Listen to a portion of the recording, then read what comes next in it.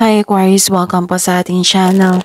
At ito ang inyong Daily Gabay Tarot reading for July 28, 2024. Please be reminded kung naka-resonate kayo, comment down. Kung hindi kayo naka-resonate, uh, ibigay niyo po sa iba kasi channel reading po ito. This is for you Aquarius ngayon July 28, 2024.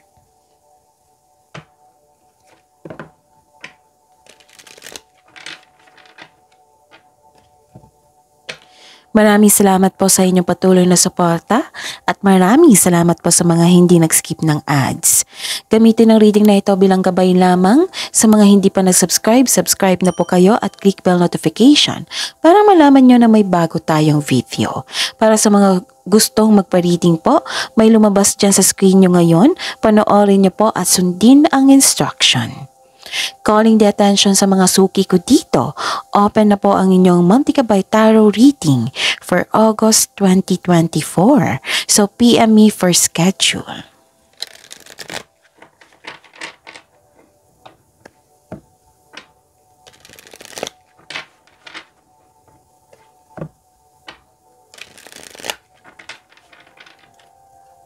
Para po ito sa inyo, Aquarius ngayong July 28, 2024. Spirits Guide, mga ganap po para kay Aquarius ngayong July 28, 2024.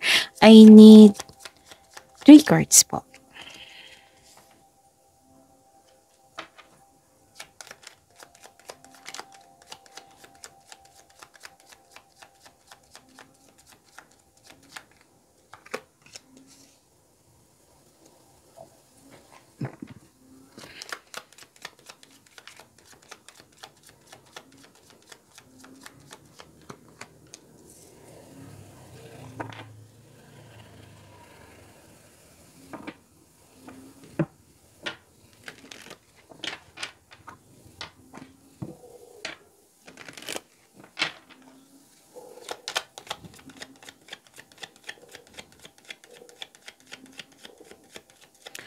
Spirit's Guide.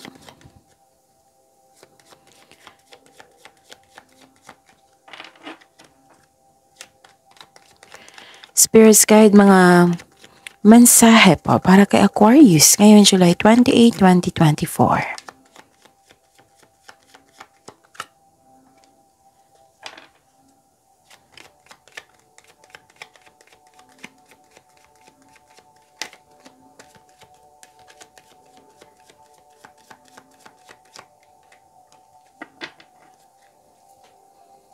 Okay.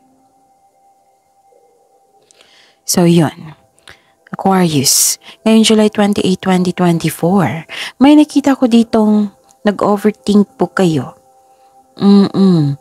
Parang nakaramdam kayo ng takot, uh, naguguluhan, nalilito, ganon.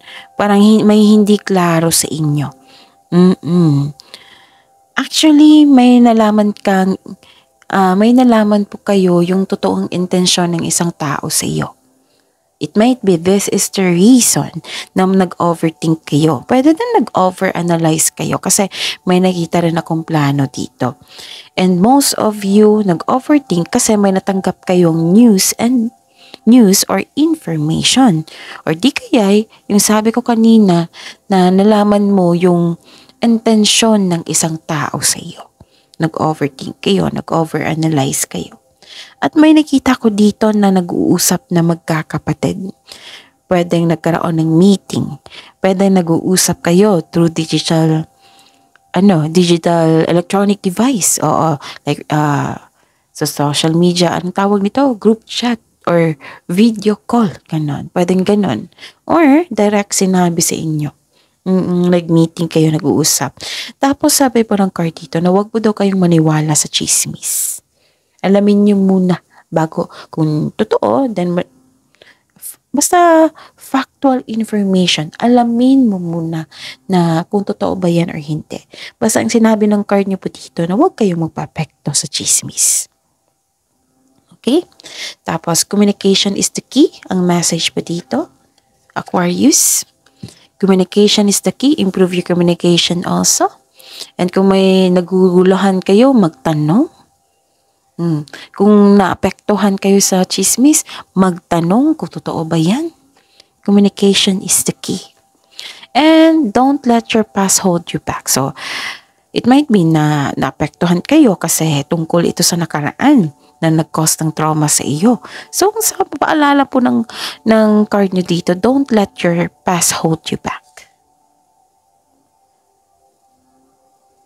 Huwag nyo hayaan na ikontrolin kayo ng past nyo kasi nangyari na yan. Focus tayo sa, uh, sa present para may expectation tayong better outcome sa future. Okay?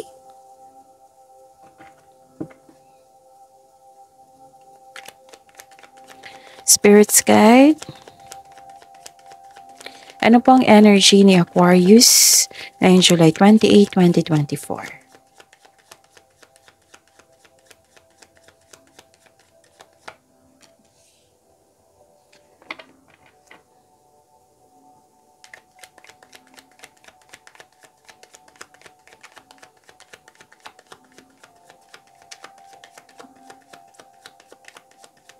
The clarification po.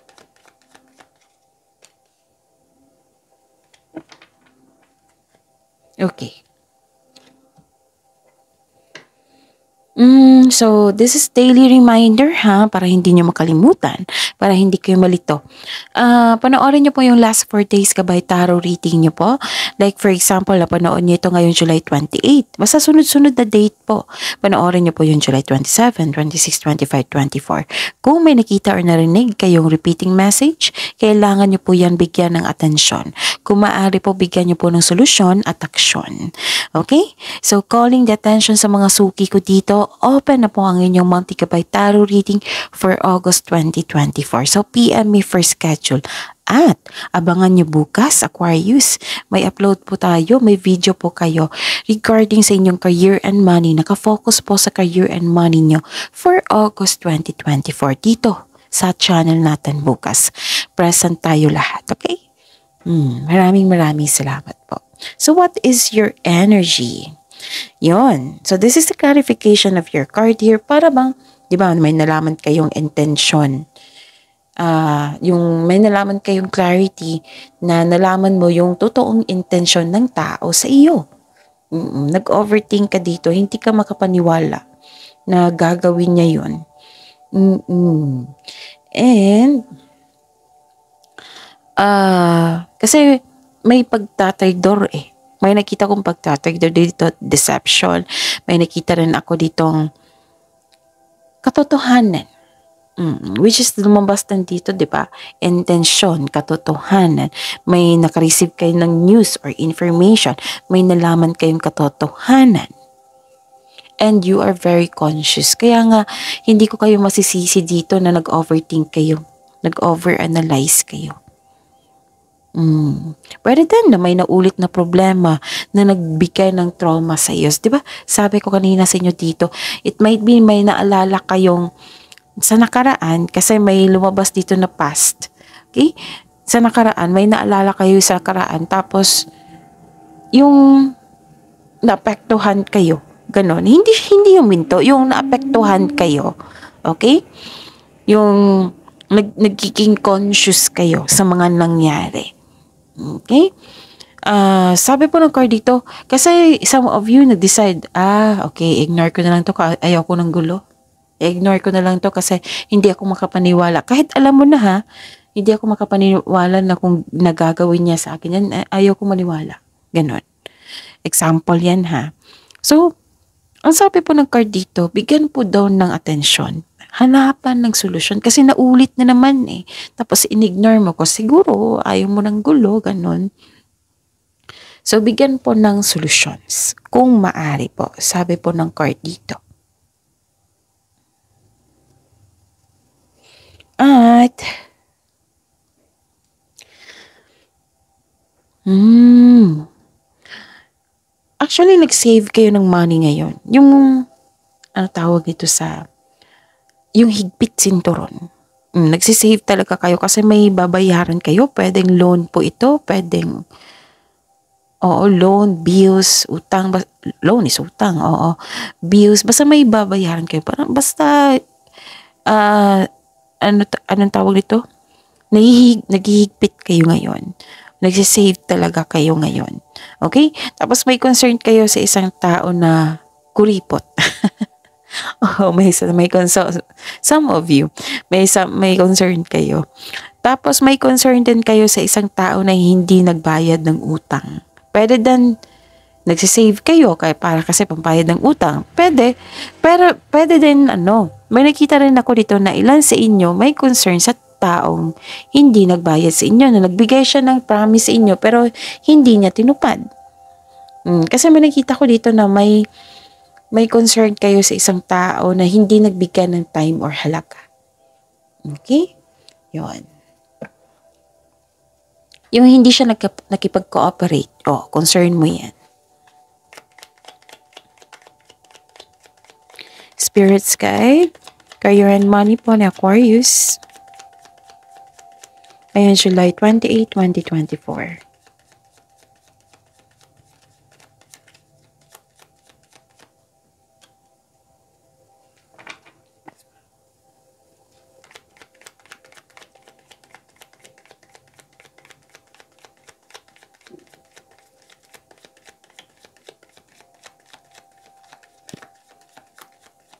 The clarification po.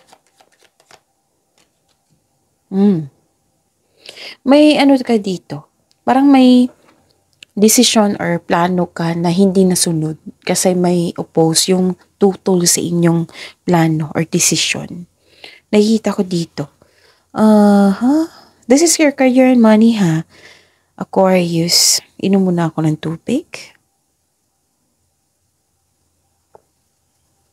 Okay. Yun. Ah. Ah, okay. May concern talaga kayo. 'Di ba sabi ko sa inyo kanina na may concern kayo sa isang tao na hindi nagbigay ng halaga. Oh, na lumabas dito isang immature na tao to. Na nag-cause ng weakness sa inyo. A- affected kayo sa kanya, Aquarius. Mm, mag-ingat po kayo ha kasi sabi po ng card dito na mag-ingat po daw kayo sa taong manuloko or self-centered na tao. This is a sign na may toxic kayong kasamahan dyan. Or matigas ang ulo, ayaw makinig. Ayaw, oo, ayaw binabalaan, ayaw makinig, ganun. Na sobrang, yung mabilis siya mag-react or defensive siya na tao. Okay? So, yun uh, naapektuhan ka sa kanya eh. Mm-mm, it might be hindi siya sang-ayon sa inyong gusto, sa inyong plano, or hindi siya talaga nakikinig sa inyong advice, sa inyong mga sinasabi. Mm-mm. Sana ma-resolve na yan. Aquarius, ano pa? Ah, okay. Ah, okay. Magiging okay din ka uh, mag, magi, nagiging magiging okay din po kayo. Kasi nakikita ko dito, naging mahinahon ka. Oo, kahit may concern kayo sa isang tao na hindi ma, ma, nagbigay ng halaga, immature na tao, yun, na yung piniling mong maging mahinahon, this is very good. Aquarius, this is very good. Kasi, nagkaroon ng emotional stability dito eh. Nagkaroon ng empathy. Kayo po ay isang mahinahon na tao, very matured, kung mag-isip, na mapagmalasakit at maari din emotional, nagsasat ka ng, anong tawag na to? Boundaries. Guarded ka, ayaw mo nang masaktan.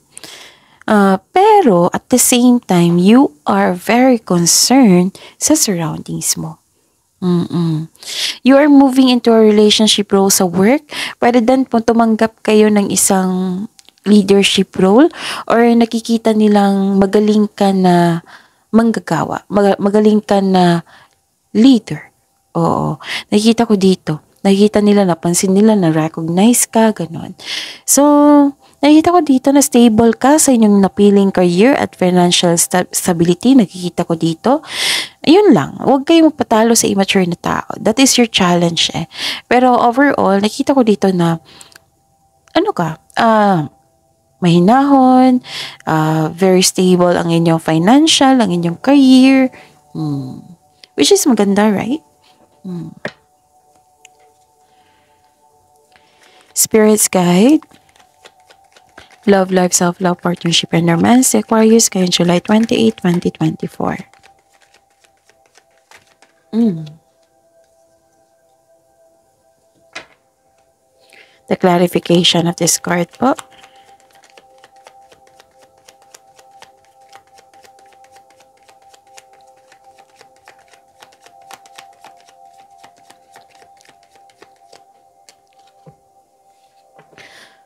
Okay, by the way, maraming maraming salamat po sa mga pat na patuloy na nagbigay ng suporta at tiwala sa ating channel. At maraming maraming salamat po sa mga hindi nag-skip ng ads. May lumabas dyan sa screen nyo ngayon. Panoorin nyo po kung gusto nyo po iyan. Then follow instruction. Actually, may ano dito, celebration.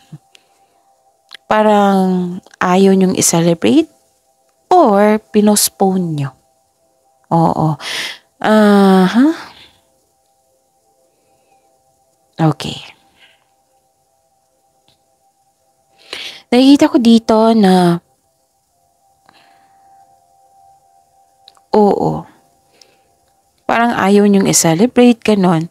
Pero may dahilan ka eh. Pwedeng i-postpone mo ito. Pero sabi po ng card dito ha. Oo.